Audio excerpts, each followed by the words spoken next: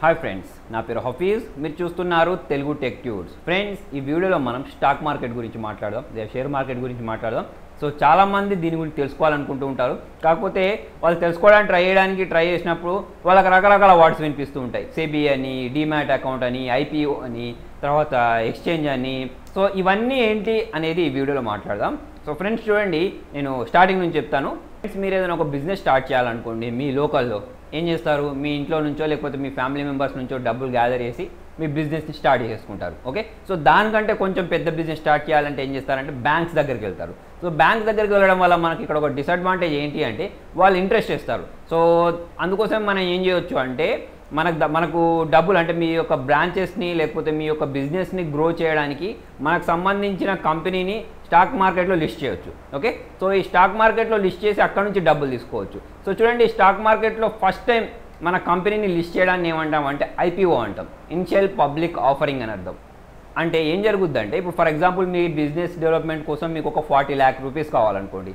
So మీరు ఏం చేస్తారంటే ఫోర్ థౌజండ్ షేర్స్ని డివై ఫోర్ థౌజండ్ షేర్స్గా డివైడ్ చేసి మీ కంపెనీ యొక్క వాటాలను ఓకే ఒక్కొక్క దానికి థౌసండ్ థౌసండ్ అని పెట్టేసి దాన్ని తీసుకెళ్ళి స్టాక్ మార్కెట్లో లిస్ట్ చేస్తారు. సో వేరే వాళ్ళు ఏం చేస్తారంటే మీ యొక్క షేర్స్ని కొనుక్కుంటారు థౌసండ్ థౌసండ్ రూపీస్ పెట్టేసి. సో వాళ్ళు కొన్న వాళ్ళకి ఏంటంటే మీ మీ కంపెనీలో వాటా వచ్చినట్టు అని అర్థం. ఓకే? సో మీరు ఇప్పుడు ఏం చేశారు? ఫోర్ థౌసండ్ షేర్స్ని వన్ థౌసండ్ వన్ థౌసండ్ పెట్టిన తర్వాత వాళ్ళు కొనుక్కున్నారు కొన్న తర్వాత మీకు ఏంటంటే ఆటోమేటిక్ మీ దగ్గరికి ఫార్టీ ల్యాక్స్ రూపీస్ వచ్చాయి. సో ఈ ఫార్టీ ల్యాక్ రూపీస్ తోటి మీరు మీ బిజినెస్ని ఎక్స్పాండ్ చేస్తారా? లేకపోతే వేరే వేరే బ్రాంచెస్ ఓపెన్ చేస్తారా అనేది మీ ఇష్టం. సో మీరు బ్రాంచెస్ ఓపెన్ చేసుకున్న తర్వాత మీరు మీ బిజినెస్ని ఎక్స్పాండ్ చేసిన తర్వాత మీ బిజినెస్కి మంచి లాభాలు వచ్చాయనుకోండి ఓకే? సో ఆటోమేటిక్ మీకు ఏంటంటే వీళ్ళు ఎవరైతే మీ దగ్గర ఈ షేర్స్ కొన్నారో లేకపోతే మీ షేర్స్ ఏవైతే ఉన్నాయో వాటి యొక్క ధర పెరుగుద్ది. ఓకే? సో మొత్తానికి ఇలా జరుగుద్ది అన్నట్టు ఇన్షియల్ పబ్లిక్ ఆఫరింగ్ అంటే ఫస్ట్ టైం మీకు సంబంధించిన కంపెనీని స్టాక్ మార్కెట్లోకి లిస్ట్ చేయడానికి అంటాం.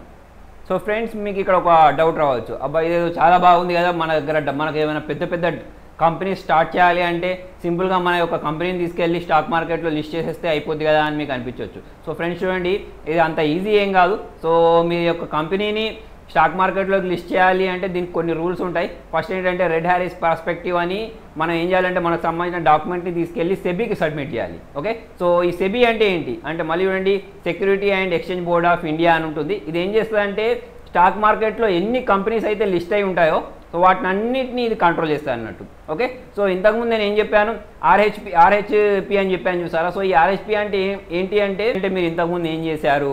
మీ ఎడ్యుకేషన్ క్వాలిఫికేషన్ ఏంటి? మీతో ఎవరెవరు పార్ట్నర్స్ ఉన్నారు? సో మీరు ఇప్పుడు ఈ- ఈ షా షేర్ మార్కెట్లో ఇన్ని లిస్ట్ చేసిన తర్వాత వచ్చిన డబ్బులతోటి ఎక్కడ పెట్టుబడి పెడతారు? సో ఇటువంటి ఇన్ఫర్మేషన్ మొత్తంని మనం ఏంటంటే ఆర్హెచ్పి అంటాం అన్నట్టు సో దీనికి సంబంధించిన డాక్యుమెంట్స్ని తీసుకెళ్ళి మనం సెబీకి చెప్పాలన్నట్టు. సో సెబీ అంటే చెప్పాను కదా మన స్టాక్ మార్కెట్లో మొత్తం కంపెనీస్ని కంట్రోల్ చేస్తా అన్నట్టు సో దానికి కంట్రోల్ దానికి మనం మనకు సంబంధించిన ఈ ఆర్హెచ్పి సబ్మిట్ చేసిన తర్వాత వాళ్ళు మన దాన్ని వెరిఫై చేస్తారంట ఓకే వీళ్ళు ఇచ్చిన ఈ డాక్యుమెంట్స్ ఏమైతే ఉన్నాయో వీళ్ళు చెప్పిన ఇన్ఫర్మేషన్ ఏదైతే ఉందో అదంతా కరెక్టేనా అంత దాన్ని మొత్తం వెరిఫై చేస్తారు అన్నట్టు వెరిఫై చేసిన తర్వాత ఒక నుంచి రెండు సంవత్సరాలు టైం పట్టొచ్చు మీకు. ఒక నెల నుంచి రెండు సంవత్సరాల టైం పట్టొచ్చు. ఈ టైం కంప్లీట్ అయింది అయిన తర్వాత మీకు అప్రూవల్ వస్తుంది. అన్ని కరెక్ట్ ఉంటాయి. సో ఫ్రెండ్స్ మన కంపెనీని ఏదైతే లిస్ట్ చేయడానికి తీసుకెళ్ళినామో దానికి షెబీ నుంచి అప్రూవల్ వచ్చిన తర్వాత మనం ఏం చేయాలి అంటే మన కంపెనీని తీసుకెళ్ళి మనం ఎక్స్చేంజ్ దగ్గరికి వెళ్ళాలి. ఓకే సో మళ్ళీ ఈ ఎక్స్చేంజెస్ ఏంటి అని చూడండి. మనకి ఇండియాలో మెయిన్గా టూ ఎక్స్చేంజెస్ ఉంటాయి. సో ఈ ఎక్స్చేంజెస్ ఏం చేస్తాయి అంటే మన దగ్గర ఉండే షేర్స్ని మనం అమ్ముతాం కదా. సో అమ్మిన తర్వాత లేకపోతే వేరే వాళ్ళు కొంటారు కదా కొన్నది వాళ్ళు అమ్మిన తర్వాత. సో ఇవన్నీ జరుగుతూ ఉంటాయి చూసారు? అంటే ట్రాన్సాక్షన్స్ సో ఈ ట్రాన్సాక్షన్స్ అన్ని దేని ద్వారా జరుగుతాయి అంటే ఈ ఎక్స్చేంజెస్ ద్వారానే జరుగుతాయి అన్నట్టు. అంటే మనకి ఉన్న కస్టమర్స్ మధ్యలో ఒక మీడియేటర్ అనుకోండి ఓకే? సో ఇక్కడ మనకు ఇండియాలో చూసుకున్నట్టయితే మెయిన్గా రెండు స్టాక్ ఎక్స్చేంజెస్ ఉన్నాయి. ఒకటి ఏంటంటే బీఎస్సీ ఇంకొకటి వచ్చేసి ఏంటంటే ఎన్ఎస్సి బీఎస్సీ అంటే బాంబే స్టాక్ ఎక్స్చేంజ్ తర్వాత వచ్చేసి ఎన్ఎస్సి అంటే నేషనల్ స్టాక్ ఎక్స్చేంజ్. సో బీఎస్సీలో చూసుకున్నట్టయితే మనకు ఫైవ్ కంపెనీస్ లిస్ట్ అయి ఉన్నాయి. ఎన్ఎస్సిలో చూసుకున్నట్టయితే సిక్స్టీన్ హండ్రెడ్ కంపెనీస్ లిస్ట్ అయి ఉన్నాయి. సో ఫ్రెండ్స్ చూడండి ఇక్కడ మనకి ఎక్కువగా ఒక వర్డ్ వినిపిస్తూ ఉంటుంది. సెన్సెక్స్ పెరిగింది సెన్సెక్స్ తగ్గింది అని. ఓకే సో ఇక్కడ ఇది ఏంటి సెన్సెక్స్ అంటే చూడండి. సో ఫ్రెండ్స్ ఇందాక నేను ఏమని చెప్పాను? బీఎస్సీలో ఫైవ్ థౌసండ్ కంపెనీస్ లిస్ట్ అయి ఉన్నాయని చెప్పాను కదా. సో మనం సెన్సెక్స్ పెరిగింది తగ్గింది అని అన్నప్పుడు చూడండి ఈ ఫైవ్ థౌసండ్ కంపెనీస్ అన్నిటినీ వాళ్ళు చెప్పరు. దాని అంతా దాని అంతటిని ఇండెక్స్ చేసి చెప్పరు. ఇప్పుడు మన వాళ్ళు ఏం చేస్తారంటే బీఎస్సీ అంటే ఏం చేస్తారంటే ఒక థర్టీ కంపెనీస్ ఒక్కొక్క సెక్టార్ నుంచి బ్యాంకింగ్ నుంచి ఎడ్యుకేషన్ నుంచి అన్ని కం అన్ని సెక్టార్ల నుంచి ఒక మెయిన్ మెయిన్ ఒక థర్టీ కంపెనీస్ అన్నిటిని తీసి ఒక ఇండెక్స్ తయారు చేస్తుంది. ఓకే? సో ఈ ఇండెక్స్ ప్రకారం ఇప్పుడు దానిలో రేట్ పెరిగింది అనుకోండి ఆ కంపెనీస్ రేట్ పెరిగితే మిగతా వాటి ఉన్నాయి సార్ ఫైవ్ థౌసండ్ సంబంధించింది. దాన్ని డిసైడ్ చేయవచ్చు అన్నట్టు. అంటే సెన్సెక్స్ పెరిగిందా లేదా అంటే రేట్ పెరిగిందా లేదా అనేది ఓకే సో ఈ మెయిన్ ఫిఫ్టీ ఇవి మెయిన్ థర్టీ కంపెనీస్ ఉన్నాయి సరే దాని మీద డిపెండ్ అయి ఉంటుంది. అలాగే మనకు ఎన్ఎస్సిలోకి అంటే ఎన్ఎఫ్ఈలో మనకి ఇప్పుడు నిఫ్టీ అని ఉంటుంది కదా. సో ఆ నిఫ్టీలో మనకి ఎన్ని కంపెనీస్ ఉంటాయి అంటే ఇప్పుడు నిఫ్టీ అంటే నేషనల్ ఫిఫ్టీ అని అర్థం అన్నట్టు. ఓకే? సో దానిలో ఫిఫ్టీ కంపెనీస్ని వేరే వేరే సెక్టార్స్ నుంచి తీసుకొని లిస్ట్ చేస్తారు. సో ఆ ఫిఫ్టీ కంపెనీస్ యొక్క రేట్ పెరిగింది అనుకోండి. మొత్తం మనకి ఏంటంటే సెన్సెక్స్ అప్ అయింది డౌన్ అయింది అని చెప్తూ ఉంటారు అన్నట్టు. ఓకే? సో మనకు పాయింట్స్ చెప్తూ ఉంటారు కదా రోజు న్యూస్లలో. సో ఆ న్యూస్లలో ఎలా చెప్తారంటే అన్ని కంపెనీస్ని చెప్పరు. ఈ థర్టీ కంపెనీస్ ఈ ఫిఫ్టీ కంపెనీస్ని దాని యొక్క ఆవరేజ్ని తీసి చెప్తూ ఉంటారు అన్నట్టు నిన్నటి దాంతో పోల్చుకుంటే ఇవాళ సెన్సెక్స్ అనేది పెరిగిందా తగ్గిందా అనేది. సో ఫ్రెండ్స్ మీకు ఇంకా అర్థమయ్యేలాగా చెప్పాలి అంటే మనం అప్పుడప్పుడు ఏదైనా ఫ్రూట్స్ కొనడానికి ఒక బాస్కెట్ కొంటూ ఉంటాం ఓకే? సో దానిలో ఏముంటుందంటే ఆ బాక్స్లో మనకు ఒక యాపిల్ ఉంటుంది ఒక బనానా ఉంటుంది కొన్ని గ్రేప్స్ ఉంటాయి కొన్ని డ్రై ఫ్రూట్స్ ఉంటాయి ఓకే? సో ఇప్పుడు మనం ఎవరికైనా గిఫ్ట్ చేయడానికి దేనికో యూజ్ చేస్తుంటాం కదా సో మొత్తానికి మ్యాటర్ అది కాదు. సో ఏంటంటే ఇప్పుడు ఇక్కడ మనకు దానిలో ఒక యాపిల్ రేట్ పెరిగింది అనుకోండి ఆటోమేటిక్ ఆ బాక్స్ చూసారా? ఆ బాక్స్ యొక్క రేట్ మొత్తం పెరిగిపోద్ది. సో ఇలాగే మనకి ఇప్పుడు ఈ ఇండెక్స్ సెన్సెక్స్ ఏదైతే ఉందో ఆ సెన్సెక్స్ కూడా థర్టీ కంపెనీస్ లేదా ఫిఫ్టీ కంపెనీస్ పెరిగినప్పుడు మిగతా వాటి అన్నిటి పెరగడం తగ్గడం దాని గురించి డిసైడ్ అవుతుంది అన్నట్టు. సో ఫ్రెండ్స్ ఏదైనా కంపెనీ స్టార్టింగ్ ఫస్ట్ టైం మనకు దీనిలో లిస్ట్ అవ్వడం లిస్ట్ చేసినప్పుడు దాన్ని ఏమంటారని చెప్పాను నేను ఐపీఓ అని చెప్పాను కదా ఇనిషియల్ పబ్లిక్ ఆఫరింగ్ అని. అలా కాకుండా ఆల్రెడీ ఇంతకుముందు కంపెనీస్ అంటే ట్రాన్సాక్షన్స్ చేసేసుకున్నాయి అనుకోండి దాన్ని ఏమంటామంటే లిస్టెడ్ కంపెనీ అంటాం అన్నట్టు. ఆల్రెడీ అది లిస్ట్ అయిపోయి ఉంది. ఓకే సో దా దాన్ని ఐపీఓ అన్నాం స్టార్టింగ్ ఇప్పుడు మనం మనకి ఏంటంటే రిలయన్స్ పవర్ అని ఒకటి కొత్త వచ్చింది చూసారా? అంటే ఇప్పుడు కాదు ఒక three four years back so దాంట్లో ఏంటంటే స్టార్టింగ్ వాటి వాట్ షేర్స్ అనేవి మనకు స్టాక్ స్టాక్ మార్కెట్లోకి వచ్చాయన్నట్టు. సో దాన్ని ఏమంటామంటే మనం ఐపీఓ అంటాం. సో ఫ్రెండ్స్ మన తర్వాత వచ్చేసి నెక్స్ట్ మెయిన్ డౌట్ ఏంటి అంటే స్టాక్ మార్కెట్లో ఒక స్టాక్ ఒక కంపెనీ యొక్క ధర అనేది ఇవాళ త్రీ హండ్రెడ్ ఉంది రేపు ఫైవ్ హండ్రెడ్ ఉంది పెరిగింది తగ్గింది అసలు దీన్ని ఎవరు డిసైడ్ చేస్తారు అని మీకు ఇక్కడ ఒక డౌట్ రావచ్చు. సో ఫ్రెండ్స్ చూడండి ఈ ఇదంతా ఏదైతే ఉందో అంటే స్టాక్ మార్కెట్లో పలానా కంపెనీ యొక్క రేట్ పెరగడం తగ్గడం అనేది దేని మీద డిపెండ్ అయి ఉంటుంది అంటే అండ్ డిమాండ్ మీద జరుగుతూ ఉంటుంది అన్నట్టు. ఇప్పుడు అంటే సప్లై ఎక్కువ ఉంది డిమాండ్ తక్కువ ఉంది అనుకోండి ఏమవుతుంది తగ్గిపోద్ది. అలా కాకుండా డిమాండ్ ఎక్కువ ఉంది సప్లై తక్కువ ఉన్నప్పుడు ఆటోమేటిక్ మనకి ఏంటంటే స్టాక్ దాని స్టాక్ యొక్క రేట్ అనేది పెరిగిపోద్ది. సో దీనిలోనే కాదు. ఇప్పుడు మీరు బిట్ కాయిన్స్ గురించి చెప్పాను నేను ఇంతకుముందు బిట్ కాయిన్ వీడియో చెప్పాను చూసారా? ఆ బిట్ కాయిన్ వీడియోలో కూడా చెప్పాను కదా. సో దానిలో కూడా మనకి ఏంటంటే సప్లై ఎక్కువ ఉన్నప్పుడు డిమాండ్ తక్కువ ఉన్నప్పుడు ఆటోమేటిక్ తగ్గిపోద్ది. డిమాండ్ ఎక్కువ ఉన్నప్పుడు సప్లై తక్కువ ఉన్నప్పుడు ఆటోమేటిక్ తగ్గిపోద్ది. సో ఇది ఒకటే కాదు ఇంకా చాలా ఫ్యాక్టర్స్ ఉంటాయి. ఫర్ ఎగ్జాంపుల్ మీరు ఏం చేశారు? ఈ డబ్బులు ఏవైతే ఉన్నాయో ఆ డబ్బుల్ని తీసుకెళ్ళి ఏ కంపెనీలో అయితే పెట్టారో ఆ కంపెనీ అనేది నేను ఏమని చెప్పాను వేరే వేరే బిజినెస్లలో ఇన్వెస్ట్ చేస్తానని చెప్పాను కదా. సో ఇన్వెస్ట్ చేసినప్పుడు వాళ్ళకి లాస్ వచ్చింది అనుకోండి ఆటోమేటిక్ మీరు కొన్న షేర్స్ అనే దాని విలువ తగ్గిపోద్ది. ఓకే సో అలా ఇవే కాదు ఇంకా చాలా ఫ్యాక్టర్స్ ఉంటాయి. సో మ్యూచువల్ ఫండ్స్లో ఉన్న డబ్బులు మ్యూచువల్ ఫండ్స్లో పెట్టిన డబ్బులు పెడతాను చూసారా? ఆ డబ్బులు కూడా ఆటోమేటిక్ మనకు దేనిలోకి అంటే ఈ షేర్ మార్కెట్లోకి వస్తాయి.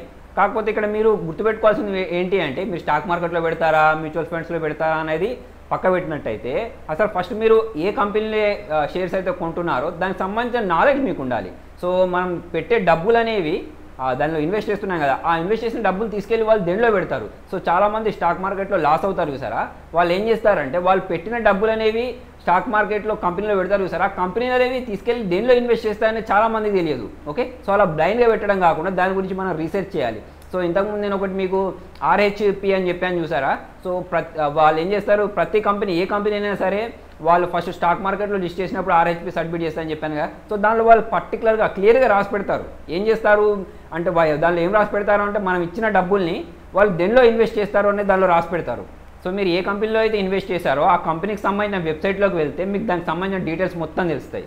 సో అలా మీరు డీటెయిల్స్ తెలుసుకున్న తర్వాత ఆ కంపెనీలో ఇన్వెస్ట్ చేయాలి. అంతేగాని మొత్తం బ్లైండ్ వేసుకెళ్ళి డబ్బులు దానిలో ఇన్వెస్ట్ చేసేసారనుకోండి సో మీ ఏ డబ్బులు అయితే పెట్టారో ఆ డబ్బులు అనేవి లాస్ అయిపోతాయి. మెయిన్ విషయం ఏంటి అంటే మన దగ్గర డబ్బులు సేవింగ్స్లో ఉంటే వాటిని మాత్రమే తీసుకెళ్ళి దానిలో ఇన్వెస్ట్ చేయాలి తప్పిస్తే మనం ఏదో ఎక్కడి నుంచో బయట నుంచి అప్పులు తీసుకొచ్చి దానిలో స్టాక్ మార్కెట్లో ఇన్వెస్ట్ చేస్తామని పెట్టొద్దు. సో చాలామంది ఏం చేస్తారంటే ఫలానా వ్యక్తికి స్టాక్ మార్కెట్లో డబ్బులు ఇన్వెస్ట్ చేయడం వల్ల ఒక కోటి రూపాయలు వచ్చాయి లేకపోతే పది లక్షలు వచ్చాయి ఇలా మాటలు విని ఏం చేస్తారంటే వీళ్ళు కూడా వాళ్ళ దగ్గర డబ్బులు లేకపోయినా కూడా తీసుకొచ్చి అప్పు చేసి మరీ ఇన్ ఇందులో ఇన్వెస్ట్ చేస్తూ ఉంటారు. వాళ్ళకి నాలెడ్జ్ లేకపోయినా కూడా. సో అట్లాంటి వాళ్ళు చాలా ఘోరంగా లాస్ అవుతూ ఉంటారు. సో మీ దగ్గర డబ్బులు ఎక్స్ట్రా స్టాక్ అంటే లేకపోతే బ్యాంక్లోనో లేకపోతే సేవింగ్స్ ఉన్నాయనుకోండి అటువంటి వాటిని తీసుకెళ్ళి మీరు స్టాక్ మార్కెట్లో పెట్టవచ్చు అది కూడా మీకు ఒక అవగాహన ఉంటే మాత్రమే స్టాక్ మార్కెట్లో ఇన్వెస్ట్ చేయాలి. సో ఫ్రెండ్స్ మొత్తానికి ఏంటంటే స్టాక్ మార్కెట్లో డబ్బులు సంపాదించడం అనేది అంత ఈజీ ఏం కాదు. సో అంత ఈజీ అయింది అనుకోండి ప్రతి ఒక్కరు ఏం చేస్తారు? బ్యాంకులో లోన్ పెట్టి ఆ వచ్చిన డబ్బులు తీసుకెళ్ళి స్టాక్ మార్కెట్లో ఇన్వెస్ట్ చేసి డబ్బులు సంపాదించేవాళ్ళు. సో దేనికైనా సరే మనకు ఒక నాలెడ్జ్ అనేది ఉండాలి. నాలెడ్జ్ లేకపోతే డైరెక్ట్ వెళ్ళేసి బ్లైండ్గా డబ్బులు సంపాదిస్తామంటే మాత్రం కుదరదు. ప్రతి మీద రీసెర్చ్ చేయాలి. మీరు అది ఏ బిజినెస్ స్టార్ట్ చేద్దామన్నా లేకపోతే ఏం చేద్దామన్నా కూడా ఫస్ట్ మనం ఏంటంటే దాని మీద వర్క్ చేయాలి. బ్యాక్గ్రౌండ్ వర్క్ చేయాలి. అప్పుడు మాత్రమే మనం దీనిలోనైనా సరే సక్సెస్ అవ్వగలం డబ్బులు సంపాదించగలం. సో ఫ్రెండ్స్ చూడండి మన డబ్బుల విషయం గురించి మాట్లాడినట్టయితే మనకు కంపల్సరీ బ్రోకర్ అనేవాడు ఎంటర్ అవుతాడు. ఓకే? సో మనకి ఇక్కడ ప్రతి ఇప్పుడు మన స్టాక్ మార్కెట్లో షేర్స్ కొనాలన్నా అమ్మాలన్నా మీరు బ్రోకర్ సహాయం కూడా తీసుకోవచ్చు. సో బ్రోకర్స్ కూడా మీకు హెల్ప్ చేస్తూ ఉంటారు. అలా కాకుండా మీకు మీరుగా మీ ఓన్గా ఈ స్టాక్ మార్కెట్లో ఈ ట్రేడింగ్ జరపాలి అనుకుంటే మీకు ఇక్కడ మూడు అకౌంట్స్ కావాలి. ఒకటి ఏంటంటే సేవింగ్స్ అకౌంట్ అంటే అది మీరు ఏ బ్యాంక్లోనైనా తీసుకోవచ్చు. సెకండ్ వచ్చేసి ఏంటంటే డిమ్యాట్ అకౌంట్. డిమ్యాట్ అకౌంట్ అంటే ఇంత ఇంతకుముందు చూడండి మనం ఏదైనా కంపెనీ యొక్క షేర్స్ కొంటే అప్పట్లో మనకు ఇంటికి పేపర్స్ పంపించేవాళ్ళు అన్నట్టు ఇప్పుడు మీరు ఏదైనా ఇల్లు కొన్నారనుకోండి మీకు ఎలాగైతే డాక్యుమెంట్స్ ఇస్తారో అప్పట్లో మనం ఏంటంటే షేర్స్ కొనేటప్పుడు కంపెనీస్ వాళ్ళు ఏం చేసేవాళ్ళంటే మనకు దానికి సంబంధించిన పేపర్స్ అనేవి పంపించేవాళ్ళు. ఇప్పుడు అలా కాదు. ఇప్పుడు డిమాట్ అకౌంట్ అంటే మొత్తం మీకు ఏంటంటే ఎలక్ట్రానిక్ ఫామ్లో ఉంటుంది అన్నట్టు. అంటే ఇప్పుడు మీకు ఎలాగైతే ఆన్లైన్ బ్యాంకింగ్ ఉన్నప్పుడు దానిలో డబ్బులు కనిపిస్తాయి దాన్ని మీరు వేరే వాళ్ళకి సెండ్ చేస్తారు రిసీవ్ చేసుకుంటారు. అలాగే మనకి ఇందులో కూడా డబ్బులు అనే మనకి షేర్స్ అనేవి డిమాట్ అకౌంట్లో ఉంటాయి. అంటే ఇప్పుడు ఇది కూడా ఒక బ్యాంక్ లాంటిదే కాకపోతే దీనిలో ఏముంటాయంటే డబ్బులు ఉండకుండా షేర్స్ ఉంటాయి అన్నట్టు ఓకే? తర్వాత వచ్చేసి ఇంకొకటి ఏంటంటే ట్రేడింగ్ అకౌంట్ అని ఉంటుంది. సో ఈ మూడు అకౌంట్ని మనం లింక్ చేసేసుకొని మన యొక్క ట్రాన్సాక్షన్ని చేయొచ్చు. సో ఫ్రెండ్స్ మూడు అకౌంట్స్ ఉంటాయని చెప్పాను కదా. ఒకటి డిమాట్ ట్రేడింగ్ తర్వాత వచ్చేసి మనకు సేవింగ్స్ అకౌంట్ సో మీరు ఇప్పుడు ఏదైనా ఒకటి కొనాలనుకోండి కొనాలన్నప్పుడు మనం ఏం చేస్తాం మనం మనం ట్రేడింగ్ చేస్తుంటాం కదా. సో ట్రేడింగ్ అకౌంట్ నుంచి ఏం జరుగుతుంది అంటే ఇప్పుడు మీరు ఏదైనా ఒక షేర్ కొనాలి అనుకున్నప్పుడు మీ సేవింగ్ అకౌంట్లో నుంచి డబ్బులు కట్ అయిపోయి మీరు ఏ షేర్ అయితే కొనారో ఆ షేర్కి సంబంధించిన ఎన్ని క్వాంటిటీస్ కొన్నారు అనేది మీ దీనిలోకి వచ్చేస్తాయి. అంటే ఎన్ని షేర్స్ కొన్నారు అనేది మీ డిమాట్ అకౌంట్లోకి వచ్చేసి ఉంటాయి అన్నట్టు. సో మళ్ళీ మీరు అమ్మాలనుకున్నప్పుడు సేమ్ మీ ట్రేడింగ్ అకౌంట్లో నుంచి అంటే మీ ట్రేడ్ ట్రేడింగ్ అకౌంట్ ఉంటుంది అంటే మీ డిమాట్ అకౌంట్లో నుంచి ఆ షేర్స్ అనేవి అమ్ముడైపోతాయి. తర్వాత వచ్చేసి ఆ డబ్బులు అనేవి మళ్ళీ వచ్చేసి మీ సేవింగ్ అకౌంట్లో పడతాయి అన్నట్టు. ఓకే సో మొత్తానికంటే మొత్తానికి ఏంటి అంటే మీరు ఇక్కడ అమ్మాలి అంటే ఈ మూడు అకౌంట్స్ అయితే కంపల్సరీ ఉండాలి. ఈ మూడు అకౌంట్స్ని లింక్ చేసి ఉంచుతారు అన్నట్టు. సో ఫ్రెండ్స్ చూడండి ఇప్పుడు నేను ఏ ఎక్స్చేంజ్ ఎక్స్చేంజెస్ గురించి చెప్పాను కదా బీఎస్సీ ఎన్ఎస్సీ అని ఓకే? సో దీనిలో ఎప్పుడు పడితే అప్పుడు మనం స్టాక్ని కొని అంటే షేర్స్ కొనడం అమ్మడం లాంటివి జరగదు. సో దీనిలో మనకి ఏంటంటే టైమింగ్ ఉంటుంది. మార్నింగ్ నైన్ ఫిఫ్టీన్ నుంచి మొదలు పెడితే మనకు ఆఫ్టర్నూన్ త్రీ థర్టీ వరకు ఉంటుంది అన్నట్టు ఓకే? సో ఈ ఈ మధ్యలోనే మనం ఏంటంటే మనకు సంబంధించిన షేర్స్ అమ్మడం కానీ కొనడం కానీ చేయాలి. అలా తర్వాత త్రీ థర్టీ దాటిన తర్వాత ఆ షేర్స్కి సంబంధించిన రేట్స్ ఏవైతే ఉన్నాయో అవన్నీ కాన్స్టాంట్గా ఉంటాయి మళ్ళీ మార్నింగ్ వరకు. ఓకే? సో ఫ్రెండ్స్ చూడండి ఇక్కడ ట్రేడింగ్ అనేది మళ్ళీ మనకు రెండు రకాలుగా జరుగుతుంది. ఒకటి ఏంటంటే ఇంట్రాడే ట్రేడింగ్ అని జరుగుతూ ఉంటుంది ఇంకొకటి ఏంటంటే లాంగ్ టర్మ్లో కూడా జరుగుతుంటుంది సో ఇంట్రాడేలో ఏం జరుగుతుంది అంటే ఏ రోజు షేర్స్ కొంటే ఆ రోజే అమ్మేస్తూ ఉండాలి మనం. ఓకే? సో మనకి ఇంకొకటి ఏమని చెప్పాను లాంగ్ టర్మ్ ఉంటుంది చూసారా? లాంగ్ టర్మ్లో ఏంటంటే మనం ఇప్పుడు షేర్స్ కొని పెట్టుకున్నాం మన దగ్గర చాలా డబ్బులు ఉన్నాయి. షేర్స్ కొని పెట్టుకున్న తర్వాత మళ్ళీ మనం ఒక రెండు మూడు సంవత్సరాల తర్వాత దాని షేర్స్ వాల్యూ పెరిగిన తర్వాత అమ్ముకుంటామంటే అమ్ముకోవచ్చు లేకపోతే మళ్ళీ మన దగ్గరనే ఉంచుకుంటామంటే ఉంచుకోవచ్చు. మన డిమాట్ అకౌంట్లోనే ఉంటాయి. సో ఫ్రెండ్స్ ఇక్కడ మనం ట్రేడింగ్ అనేది రెండు రకాలు ఉంటుందని చెప్పుకున్నాం కదా. ఇన్ఫ్రాడే తర్వాత వచ్చేసి లాంగ్ టర్మ్ అని. సో ఇన్ఫ్రాడేలో చేయడం వల్ల మనకు నష్టం ఏంటి అంటే మన మైండ్ అనేది స్టేబుల్ ఉండదు. అంటే మనకు ఒకరోజు నష్టం వచ్చింది అనుకోండి చాలా కుంగిపోతాం. నెక్స్ట్ వచ్చేసి మనకు లాభం వచ్చింది అనుకోండి ఇంకా ఎక్కడి నుంచైనా డబ్బులు తీసుకురావాలి దానిలో ఇన్వెస్ట్ చేయాలి అని మన మైండ్ అనేది స్టేబుల్గా ఉండదు. సో అందుకోసం ఏంటంటే మీరు లాంగ్ టర్మ్లో పెట్టడానికి ట్రై చేయండి. మన మీ మైండ్ అనేది చాలా స్టేబుల్గా ఉంటుంది. ఇంకొకటి ఏంటి అంటే మీరు ఈ స్టాక్ మార్కెట్తో పోల్చుకున్నట్టయితే మీకు మొత్తానికి నాలెడ్జ్ లేదు అనుకున్నప్పుడు మ్యూచువల్ ఫండ్స్లో పెట్టండి. సో మ్యూచువల్ ఫండ్స్ వాళ్ళు కూడా ఆటోమేటిక్ డబ్బులు తీసుకొచ్చి స్టాక్ మార్కెట్లోనే పెడతారు. కాకపోతే వాళ్ళు ఏంటంటే అక్కడ కొంచెం అనుభవం ఉన్న వాళ్ళు ఎంప్లాయీస్ ఉంటారు. సో వాళ్ళు మన మనం ఇచ్చిన డబ్బుల్ని ఇన్వెస్ట్ చేస్తూ ఉంటారు. సో వాళ్ళు ఒక కంపెనీలో పెట్టరు అన్నట్టు ఒక నాలుగైదు కంపెనీలో మనం ఇచ్చిన డబ్బులు తీసుకెళ్ళి ఇన్వెస్ట్ చేయడం వల్ల మనకు ఒక కంపెనీ నుంచి నష్టం వచ్చినా కూడా ఇంకొక కంపెనీ నుంచి లాభం వస్తుంది అన్నట్టు ఓకే? సో అక్కడ మనకు యావరేజ్ చూసుకున్నట్టయితే లాభపడతాం. సో మొత్తానికి ఏంటంటే మనం స్టాక్ మార్కెట్తో పోల్చుకున్నట్టయితే మ్యూచువల్ ఫండ్స్లో ఇన్వెస్ట్ చేయడం బెస్ట్. తర్వాత వచ్చేసి మీకు నాలెడ్జ్ ఉంటే అంటే దేనిలోనైనా సరే మీరు ఇన్వెస్ట్ చేయాలంటే ఫస్ట్ మీకు ఒకటి నాలెడ్జ్ ఉండాలి. మీరు ఏ కంపెనీలో పెడుతున్నారు? లేదా ఇప్పుడు మనం మ్యూచువల్ ఫండ్స్లో పెట్టినప్పుడు డబ్బులు వాళ్ళకి ఇచ్చినప్పుడు సో వాళ్ళు తీసుకెళ్ళి దేనిలో ఇన్వెస్ట్ చేస్తున్నారు అదంతా మనకు ఫస్ట్ తెలుసుకొని ఉంటే మనం ఏంటంటే లాస్ అవ్వకుండా లాభపడతాం అన్నట్టు. సో ఫ్రెండ్స్ చూడండి మీరు నన్ను ఇక్కడ ఒక డౌట్ అడగవచ్చు ఇదంతా చెప్తున్నావు కదా. సో మరి అసలు నువ్వు దీనిలో నేను ఇన్వెస్ట్ చేసావా ఇంతకుముందు నీకేమన్నా డిమాట్ అకౌంట్ ఉందా? అంటే ఫ్రెండ్స్ చూడండి నాకు డిమాట్ అకౌంట్ లేదు. నేను కూడా ఎప్పుడు షేర్ మార్కెట్లో ట్రేడింగ్ చేయలేదు. కాకపోతే ఇప్పుడు ఈ వీడియో చేయడానికి మెయిన్ ఉద్దేశం ఏంటంటే కింద కామెంట్ ఓకే సో చాలామంది దీని గురించి వీడియో చేయండి స్టాక్ మార్కెట్ గురించి వీడియో చేయండి అని చెప్పడం వల్ల నేను దీని గురించి సెర్చ్ చేసి నాకు తెలిసిన ఇన్ఫర్మేషన్ మొత్తం గ్యాదర్ చేసి చాలామందిని చాలా మందిని తెలుసుకొని ఈ వీడియో చేస్తున్నాను. సో మీరు ఇంకా దీని గురించి అయినా తెలుసుకోవాలి అనుకుంటే నా నాకు కింద కామెంట్లో రాయండి. తర్వాత వచ్చేసి వీడియోకి మినిమం ఒక థౌసండ్ లైక్స్ వచ్చే విధంగా వేయండి ఎందుకంటే నేను ఇంకా ఇటువంటి వీడియోస్ తీసుకొని రావాలి అంటే మీ సపోర్ట్ అనేది నాకు కావాలి.